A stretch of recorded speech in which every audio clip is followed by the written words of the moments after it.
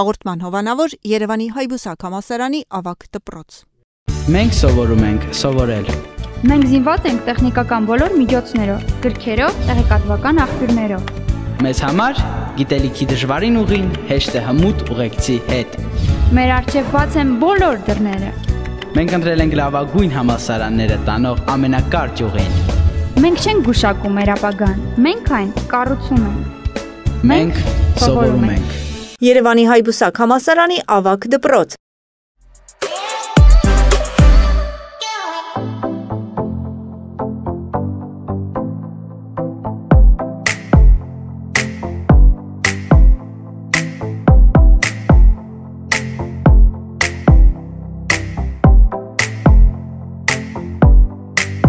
Հաղորդման գործընկեր Duo Beauty Studio։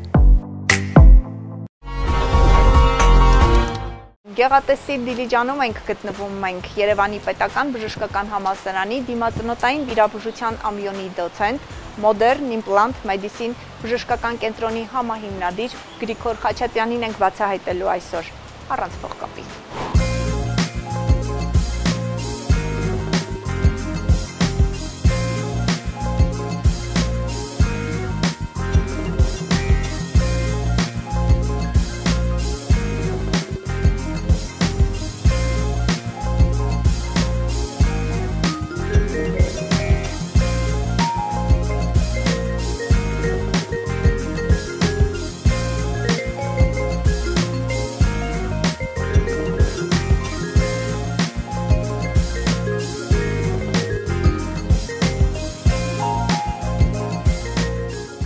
Գաղտնի չի, որ Գրիգորի Էմիլիչը հրաշալի բժիշկ է, բայց նաև նա հրաշալի արվեստի գնահատող եւ տեսնող արտակարգ տաղանդավոր անձնավորություն, տաղանդավոր ամեն ինչու, արտակարգ արտիստիկ,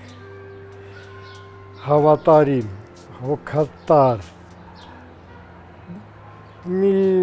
օվկիանոսի չափ հումորի զգացողությամբ։ Եզակի մարդ է, որին կարելի է վստահել կյանքի ցանկացած պարագայում մասնագիտական առումով པարզ է, որ վստահում են բոլորը եւ ընկերական եւ ընտանեկան բոլոր պարագաներում կարելի է հանգիստ խղճով վստահել ինքը ստաբիլ է, ինքը այս մի մեծ մեծություն է, մի կոնստանտ է, որը չի փոխվում որևէ պարագայում։ Անverջ նվիրված է ուրեմն մարդկային եւ մարդկությանը, անverջ նվիրված է։ Եվ կարծում եմ, որ իր կյանքի կրեդոն կառուցել մի մի կյանք, որտեղ մարդիկ իրանց պետք է զգան երջանիկ միշտ մնում է հավատարիմ ինքը իրեն, իր սկզբունքներին, իր գիտելիքներին, իր շրջապատին, իր միջավայրին, իր հայրենիքին։ Ինքը մի մարդ է, որը իր որոշումները ոչ վերջ կտան։ Նա նաև շտապօգնություն է։ Նա նաև չափանիշ է, որտեղ եթե նա ասում է, որ իր ասպարեզում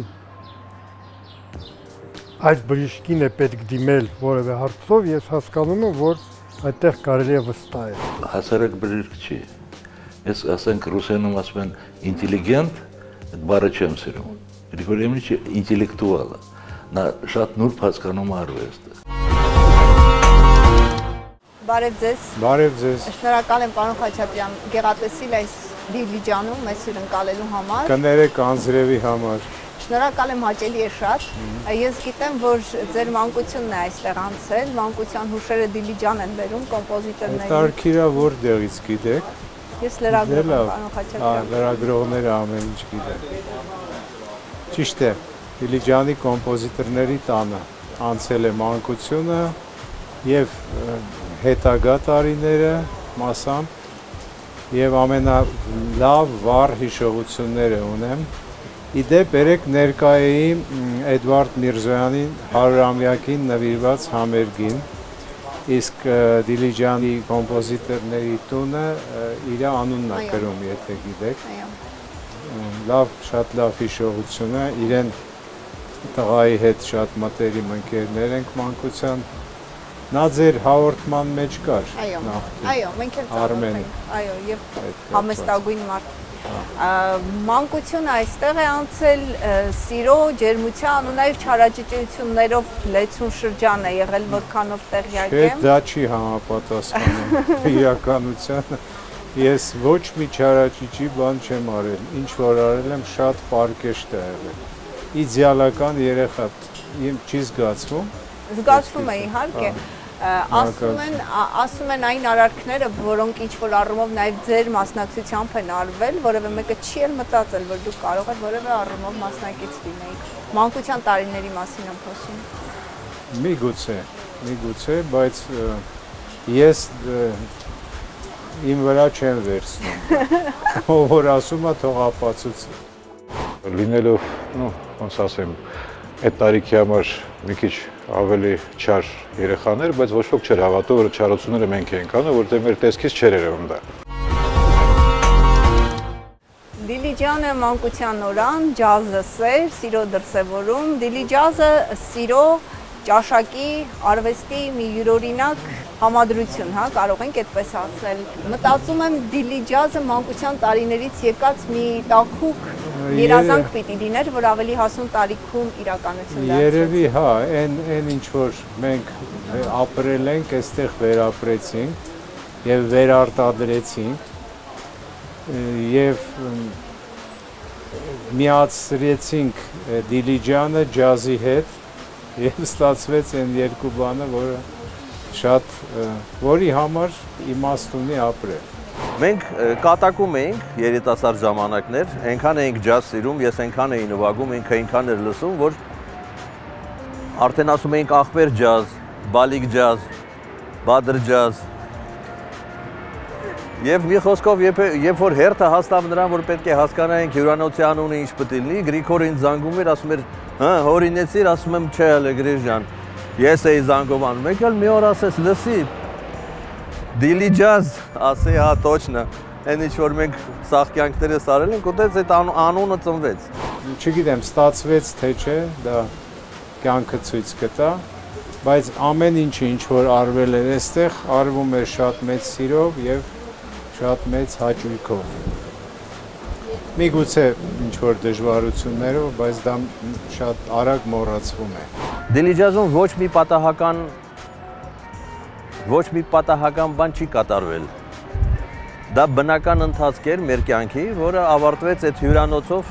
Երևանի տապից ու առօրյա հոգսերից կտրվելու յուրօրինակ ու թերևս ինչ որ առումով նաև անփոխարինելի միջոց է այստեղ գտնվելու։ Չէ, դա եւս մի հոգս է։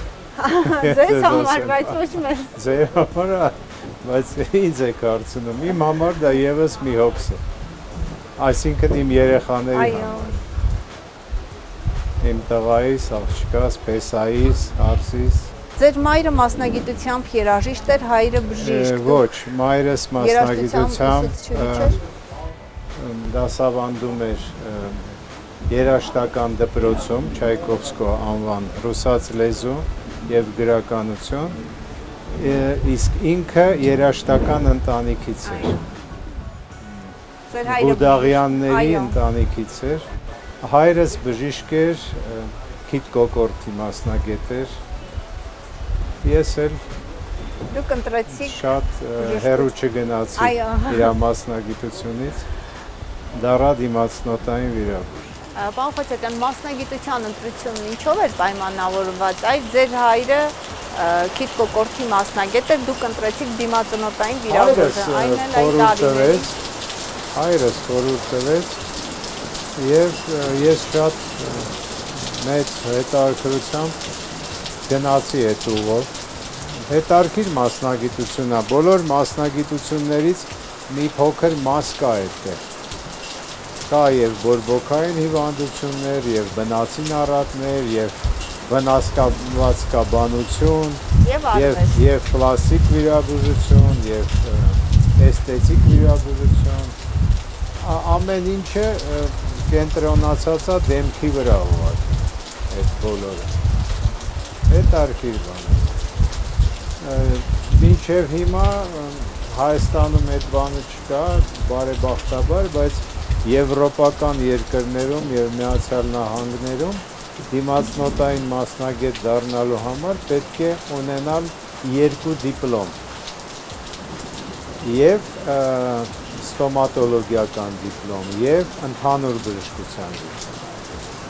Ռուսական դպրոցը ավելի ռացիոնալ է եւ այդ ամեն ինչը մեկը երկուսի մեջ է անում։ Մենք դե գաղտնիք չի, որ ռուսական դպրոցի ներկայացուցիչներն են սովետական ավելի շուտ, այդպես ասեմ, դա լավ է, իհարկե լավ է եւ լավ է նա, որ հնարավորություն ունենք շատ հաճախ համագործակցել մեր եվրոպական պարտներների հետ եւ ֆրանսիացիների եւ գերմանացիների հետ եւ ամերիկացիների հետ եւ այդտեղից էլ լրացուցիչ ինֆորմացիա ենք ստանում մայիսի 1-ից 5-ը արեցինք մի մեծ հետարքիր ծրագիր Մոսկվայից ժամանած մի մեծ խումբ վիրաբուժներ, դիմացնոտային եւ ռեկոնստրուկցիվ վիրաբուժներ Արտմեդ բժշկական կենտրոնում չգիտեմ, այս ամեն ինչը պետք է թե չէ, բայց կուզեի որ հնչեր կատարեցինք պատերազմից դուժած զինվորների վերականգնողական դեմքի եւ ծնոտների հետ վիրահատություններ եւ դա արվեց զուտ անձնական կապերի միջոցով բժշկությունը եւ երաժշտությունը պիտի ուղեկցեր ձեզ ամբողջ կյանքում Դե բժշկությունը դա իմ մասնագիտությունն է, երաժշտությունը իմ հոբին է, այսպես ասեմ։ Չնայած ուրիշ հոբիներ էլ ունեն։ Օրինակ ձկնորսությունը, օրինակ ուսորդությունը, այո, այո։ Պոեզիան։ Այո, շանս էլ եմ բերել այստեղը, բայց քանի որ անձրևա չեմ ուզում թրջվի։ Հիմա պահել եմ չափազանց զբաղված գրաֆիկով ապրող բժիշկը ձկնորսության ու որսորդությանը երբ է հասցնում ժամանակ։ Շաբաթ Կիրակի։ 5 օր աշխատում ենք, 2 օր հանգստանում ենք։ Պետք է 7 օր էլ աշխատում ենք։ Ոնց որ եղել է շատ եւ շատ եւ դեռ կլինի, կարծում եմ։ Ես մի անգամ եմ հետը գնացել, ընդ կարծեմ ոչ թե որսորդության, այլ ձկնորսության եւ այդ օրը մենք ոչ մի ձուկ չենք բռնել։ Որսը մեր ընդհանուր կյանք բնություն տեսնելու, հասկանալու միջոցներից է։ Խնդիրը անպայման ինչ որ մի բանի կրակելը չէ, այլ բնության մեջ գտնվելը, որտեղ որսը նաև որպես հին տղամարդու այսպես գենետիկ պարտականությունը ասեմ թե ինչ իրագործում ենք, որտեղ այդ խփված թրջունը ուրիշ համ ունի տան համար ուրիշ նշանակություն ունի եւ վերջը որպես որսոր տեստում վերադառնում եւ երկուսս էլ վայելում ենք որսի այդ պահը վարսում վայելում ենք որսի ժամանակ այն ամեն ինչ ինչ կարելի է վայելել որսի ժամանակ այդ դժվարությունները այդ համբար նպաստ եղանակը դժվար տեղերը գիշերը անձրևի տակ կրակ վառելու ուրախությունը, վրանում քնելը եւ այլն եւ այլն։ Այդ այդ բոլորը բաներ են, որոնք կյանքի երևի ամենա թանկ, ամենա այսպես զգացումային արժեքավոր բաներն են։ Ես կերել եմ իր ապխտած ուրեմն ձկները, ապխտած հավերը եւ ինքը ունի հատուկ սարք որ ինք շատ լավ տիրապետում է։ Եթե պատրաստում է որևէ բան լավ է պատրաստում, եթե չի ծուլանում։ Իսկ ինքը շատ լավ խոհարարական ձիրք ունի։ Այնպես որ նաև դա։ Ինքը ընդհանրապես ուրեմն համով ուտելիքի հետ շատ սերտ կապ ունի։ Այսինքն համով նկատի ունեմ, որ լինի ոչ տրադիցիոն քյաբաբ խորոված կամ եւ այլն եւ այլն, ինքը ես ինչքան իրան տեսնում եմ, երբ որ ուտելիքից ենք խոսում, ինքը շատ մեծ էսթետ է ուտելիքի մեջ։ Ինքը միշտ սիրում է, որ ուտելիքը ունի ունենա բացի կոպիտ ասած կշտանալով հատկությունից հաճույք պատճառի ասում են նաև հետաքրքիր ուտեսներ եք պատրաստում ձկան, հավի, Հա, բայց դա սիրողական բնույթ է կրում։ Այ ես դուք հիմա փորձեք մեր այստեղի ուտեստները, մեր խոհարի պատրաստված, դրանք պրոֆեսիոնալ են։ Իդեպ մենք շատ մեծ ուշադրություն ենք դարձնում խոհանոցի վրա։ այո։ որտեվ լավ խոհանոցը, լավ համեղ ուտելիքը, լավ սպասարկումը դա հաջողության գրավականներից է։ Այդպես են կարծում։ Այո։ Այդ փորձը դուք ավելի վաղուց ունեիք Երևանում այն բժշկական կենտրոնի հիմնադրմամբ ու ստեղծմամբ, որը դուք արեցիք ու այսօր հաջողությամբ է իր առաքելությունը Այսինքն դուք ի իրականացնում։ նկատի ունեք կազմակերպչական Այո, փորձ, հա։ այո։ Միգուցե, բայց այդ այդպեսի ոլորտ է, որ ամեն օր, ամեն րոպե նույնիսկ սովորում ես, որտեվ դա էլ մասնագիտություն է, քանի որ մասնագիտական կրթություն չունես մենեջմենտի եւ մարքեթինգի եւ ամեն ինչը ամեն օրվա եւ ինտուիտիվ ես հասկանում եւ ինչ որտեղ մի բաներ նայում ես, կարդում ես երևի թե ստացվում է դա, բայց ես կնախընտրեի այստեղ մի պրոֆեսիոնալ ունենամ, որը որ իմ փեսանա Գրիգորին այդ հարցով այդ հարցերով ինքն է զբաղվում։ Ինչ է ստացվել, չգիտեմ։ Կյանքը ցույց կտա։ Ընդամենը 1 տարեկան է կառույցը։ Մենք բացվեցինք 19 թվի դեկտեմբերի վերջի օրերն էր 20 թվին գիտեք ինչ կատարվեց սկզբից կ ូវ իդը, հետո պատերազմը եւ մինչեւ հիմա էլ ուշքի չեն գալու այդպես։ Բայց լավատես ենք։ Պարոն Խաչատյան, ես նկատեցի, որ թե այստեղ, թե Դիլիջազում եւ թե կլինիկայում ընտանիքի անդամներն են նաեւ ներգրաված, այ դժվար չէ ընտանիքի անդամների Դե հա, սա ընտանեկան բիզնեսի ինչ որ մի մոդել է, որը որ իդեպ շատ լավ աշխատում է։ Տղաս կլինիկայում տնորեն է եւ վիրաբույժ գիտությունների տեխնացու արդեն փորձառու մասնագետ աղջիկս ֆինանսի ֆինանսիստ եւ հաշվապահություն է անում եւ մնացած տերմինները ուղղակի չեմ էլ, հա, կրեատիվ խումբն է ղեկավարում, Պեսաս է մեզ շատ օգնում որպես կոնսուլտանտ, իսկ հարսս տղայի կինը, այսինքն Գայանեն, ինքը այնքան սեր ունեցավ բժշկության հանդեպ, որ հիմա իր երկրորդ կրթությունը ուզում է բժշկական լինի եւ Փոխվեցիք մասնագիտությունը։ Հա, հա։ Երկրորդ ինքը լեզվաբան է, բայց երկրորդ մասնագիտությունը անպայման որոշել է, իսկ եթե ինքը որոշել է, կանի դառնալ բժիշկ։ ձեր կինը մասնագիտությամբ? Իմ կինը մասնագիտությամբ ինժեներ ծրագրավորող է։ Այս պահին գտնվում է կողքը, կողքի տանը, որտեղ մեր առանձնատունն է, ամառանոցը, ը, եւ հսկում է շանը, որ չգա ինձ չգտնի։ Թե չէ այս ամեն ինչը չենք կարողանա նկարենք։ իր մասին շատ հեշտ է խոսել, որովհետև ինքը բազմակողմանի է։ Բայց շատ դժվար է խոսել, որովհետև այս մարդը երևույթ է։ Իր համար նույն չափի կարևոր են մասնագիտական իր գործը, ընտանիքը, հայրենիքը, ընկերները, արվեստը, ձգնորսությունը, ամեն ինչ, ամեն ինչ իր տեղում է եւ նույնչափ կարևոր։ Ինքը ինչ որ անում է լավ է անում։ Նայեք այդ հյուրա- հյուրանոցը, նայեք ամեն ինչ ճաշակով եւ լավ։ Որտեվ տաղանդավոր մարդը չի կարող լինի տաղանդավոր մի մի մի մասնակցություն։ Ինքը տաղանդավորը ը, 30 360 աստիճանով։ Փայլուն գիտի գրականություն, երաժշտություն, կերպարվեստ։ Տաղանդավոր մարդը տաղանդավոր ամեն ինչում եւ իզուր չէ որ նա ընտրել այնպիսի մի մասնագիտություն, որը ոչ միայն առողջություն, այլ նաեւ գեղեցկություն է բերում մարդկանց,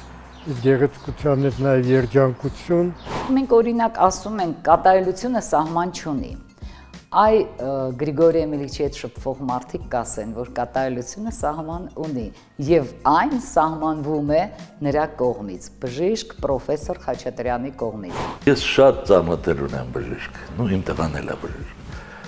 Ու Գրիշայի աչքերի մեջ ես միշտ տեսնում եմ մի ցավ, ցավ մարդու մասին, ցավ հայի համար, ցավ որ ինքը կարող է բուժի։ Հայրը շատ են օգտագործում ցավը տանեմ բառը։ Գրիշը ցավ տանողը։ Սենց ասեմ ձեզ։ Ինքը կյանքում չի ասում ցավը տանեմ, բայց միշտ կողքը տա հայտնվում ամենադժվար պահերին։ Շատ բարի տղա է Գրիշա, շատ բարի, շատ արատաձեր, հասնող։ Եթե անգամ ինչ որ անձնական խնդիրներ ես ունենում, Էլի Գրիգորի Էմիլիչը մնում է համար 1 խորհրդատուն շնորհիվ իր շատ անալիտիկ ուղեղի, շատ զարգացած մարդ լինելու ընդհանուր զարգացած մասն է խոսքը մի մարդու, որը միշտ լուծում է գտնում որևէ իրավիճակում եւ նրան դիմել խորհրդով նշանակում է անպայման ակնկալել, որ կլսես մի անպայման խելոք խորհուրդ։ Դժվարանում եմ ասել իմ շրջապատի մեջ մի մարդու անունը մեր ընկերության մեջ, որը նման 100%-անոց համ հայրա, համ ամուսին, համ պապիկ շատ շատ նուրբ նուրբ լարեր ունի ինքը, որը առաջին հայացքից կարողա չդիտվի, բայց մի քիչ որ խորանում ես, հասկանում ես, որ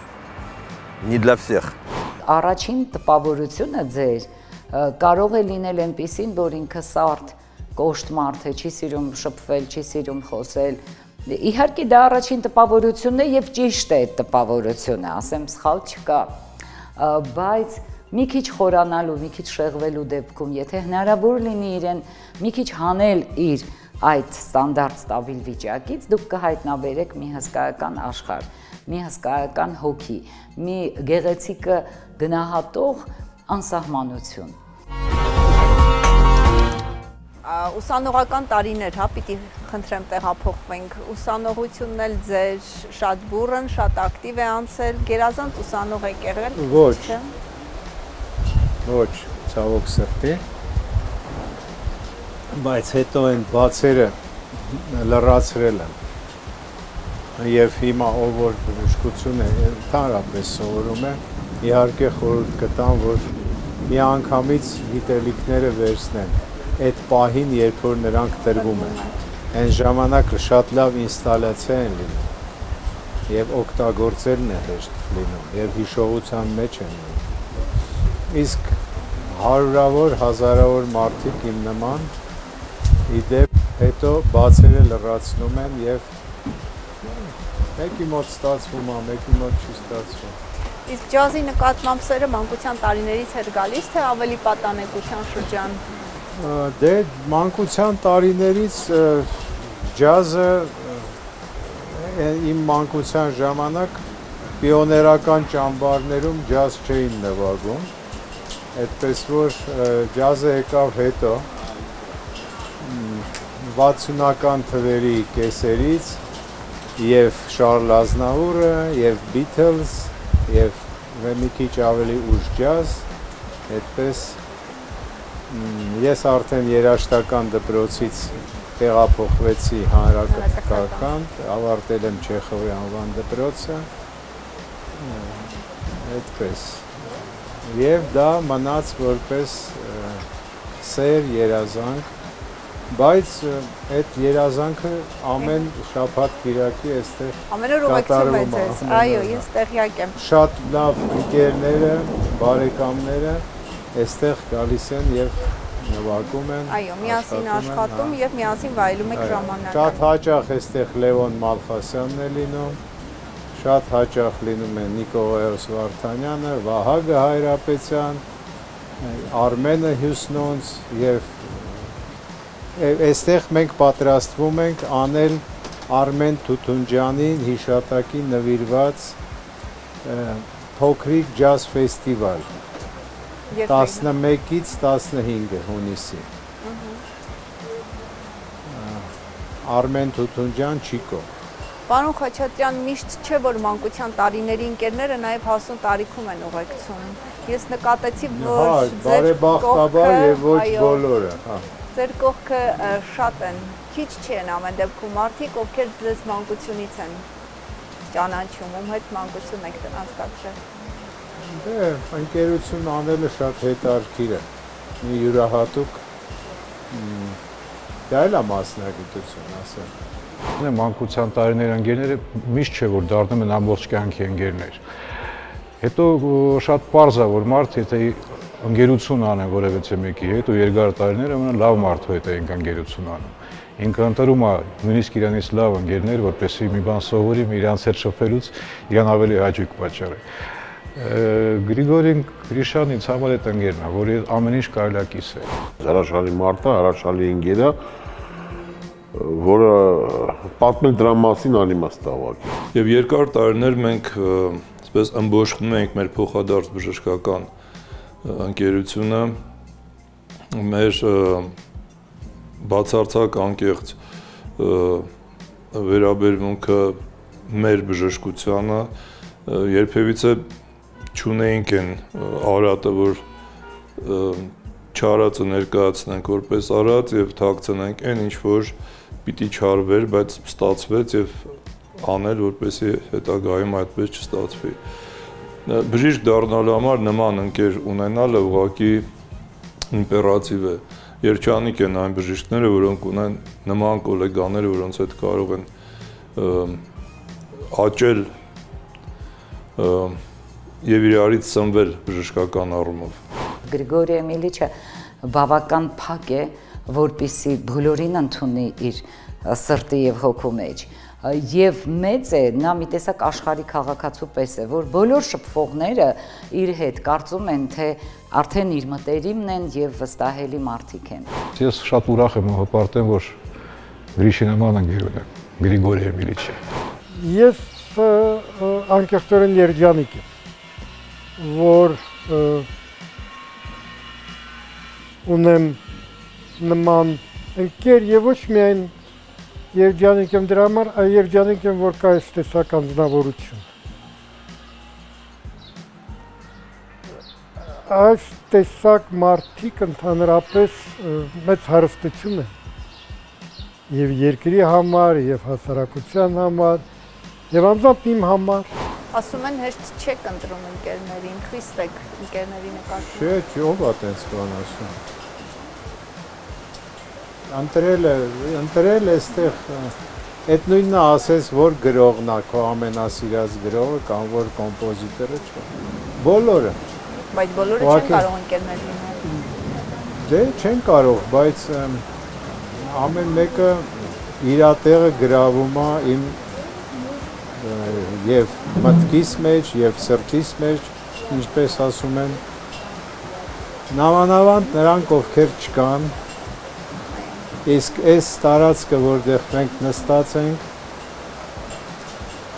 մենք մի հանճարեղ, մի հրաշալի իմ ընկերներից մեկը Վահանը Հովանեսյան, երևի իր անազգանը ձեզ ծանոթ է,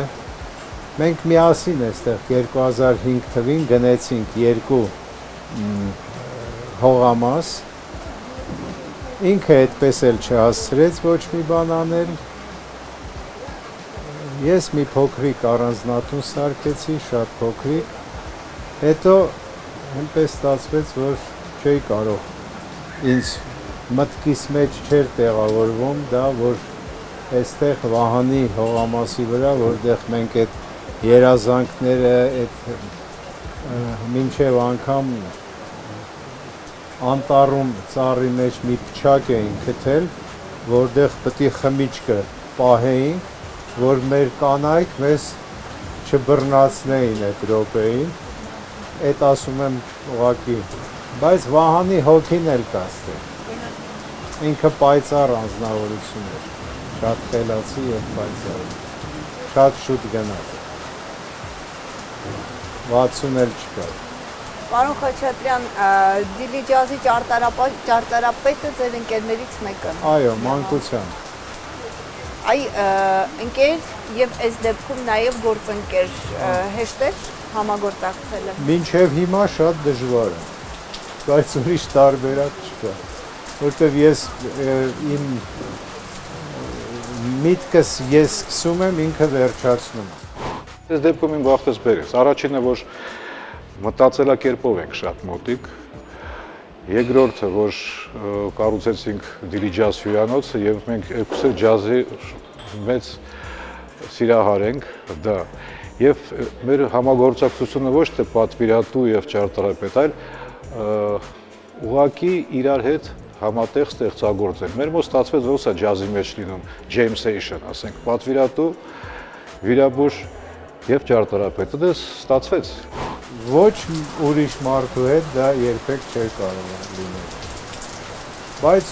ընկերոջ հետ եւ գործընկեր լինել եւ ընկեր հնարավոր է, ինչի՞ չէ։ Հեշտ ընդհանրապես ոչ մի բան չի ստեղծվում։ Այն ինչ որ ստեղծվում է, այն ինչ որ արժեքա հետո ներկայացնում, դա դժվար է ստեղծում, դա երևի այդ բնական է եւ դա օրենք է ոչ մի բան հեշտ չի լինում։ Մենք իրար պետք է համոզած լինենք, որ մի եզրակացության գայինք։ Տեն չէ, որ մեկը մյուսին ենթարկում է։ Պատվիրատուն կարող ասել, այ ես սենց եմ ուզում ու վերջ, ես չէի կարող այս բանը գնալ։ Մենք պետք է իրար համոզենք եւ ընդունել մեկը մյուսի ճիշտը եւ սխալը ընդունել։ Մենակ այդ տենց կարելի է հասնել հաջողության ինչ որ որևէ ամեն մի գործունեության ասպարեզում մենակ տես կարելի հաջողության հասնել։ Ինչն է բարկացնում, ինչը կարող է բարկացնել Գրիգոր Խաչատրյանին։ Ոյ, խնդիրությունը, տեխնը, շրջապատում եւ ան անպարկեշտ պայելաձև։ Նաեւ աշխատանքում։ Հա, կյանքն ու աշխատանքը չեն տարբերվում, չեն տարբերում։ Ասում են, եթե կյանքը չլիներ, ամեն ինչ կարող էր ուրիշ ձևով ընթանալ, չէ, բայց դե կյանքը կա, ամենա հրաշք երևույթներից մեկը, որի համար է պետք պայքարել։ Ինչ է կարծում, ինչ թերություն ունեք։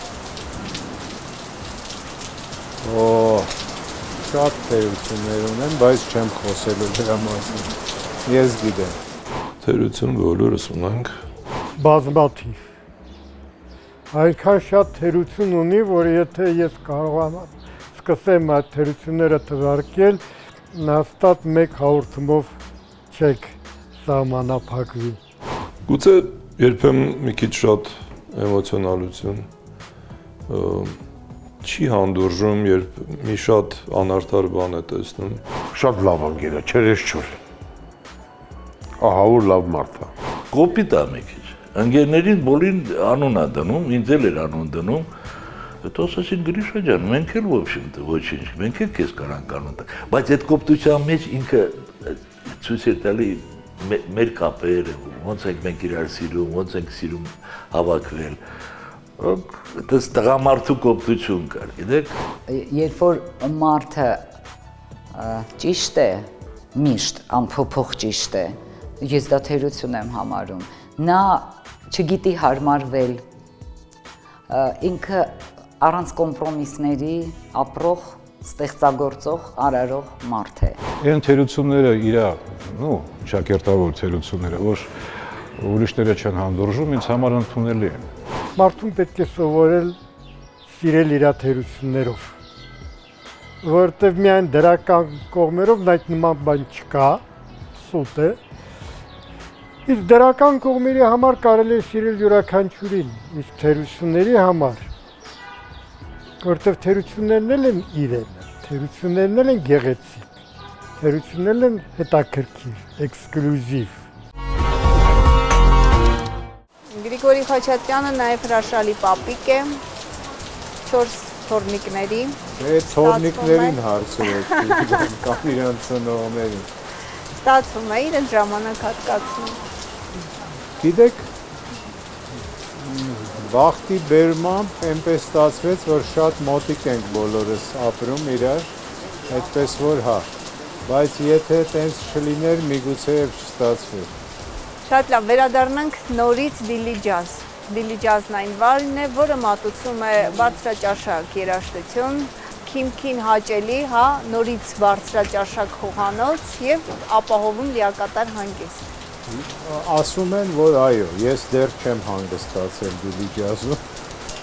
Սա իմ համար աշխատանք է, ճիշտ է։ Ես շատ չեմ զբաղվում կազմակերպմամբ եւ մենեջմենտով։ Երևի թե ճիշտ է, որ ես չեմ զբաղվում չափազանց խիստ կլինեի, բայց մեզ դե այդ հանակի կարգավիճակ ուներ, ինչ կարող եմ ասել, որ մեզ փաստորեն 1 տարվա եւ միգուցե մի քիչ ավել ընթացքում հաջողվեց մեր կոնտինգենտը ստեղծել մեր մոտ եկողներ մեր հյուրանոց, ռեստորան, ակումբ, տենց ակումբային ֆորմատ ստացավ։ Օրինակի համար մենք ունենք կոնֆերենց դահլիճ, որը որ շատ պետք է մարդկանց աշխատելու համար եւ հանգստանալու։ Մենք ունենալու ենք լողավազան, որ կարելի է ասել շատ անհրաժեշտ բան է, այսպես հանգստի վայրերում ունենք շոքե բաղնիկ, սաունա, քիչ-քիչ ենք անում, տենց չի որ ամեն տարի մի փոքրիկ բան ավելացնում Պարոն Խաչատյան, ասում են երազանքների մասին պիտի շատ զգուշ խոսես, հնարավոր է դրանք իրականություն դառնան։ Միշտ էլ դառնում են։ Ես համոզված եմ դրանով։ Շնորհակալ եմ անկեղծ զրույցի համար։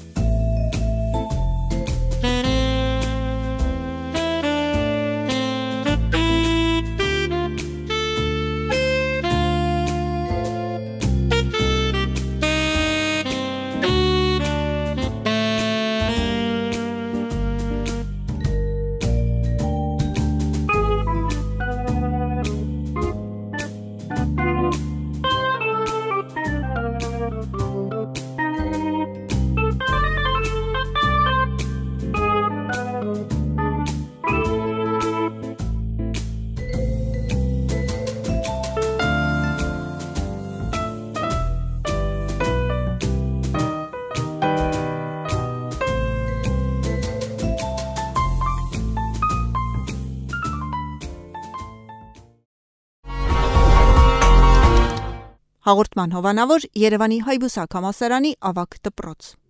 Մենք սովորում ենք սովորել։ Մենք զինված ենք տեխնիկական բոլոր միջոցներով, գրքերով, տեղեկատվական աղբյուրներով։ Մեզ համար գիտելիքի դժվարին ուղին հեշտ է հմուտ ուղեկցի հետ։ Մեր առջև բաց են բոլոր դռները։ Մենք ընտրել ենք լավագույն համասարանները տանող ամենակարճ ուղին։ Մենք չենք գուշակում մեր ապագան, մենք այն կառուցում ենք։ Մենք սովորում ենք։ Երևանի Հայբուսակ համասարանի ավակ դպրոց։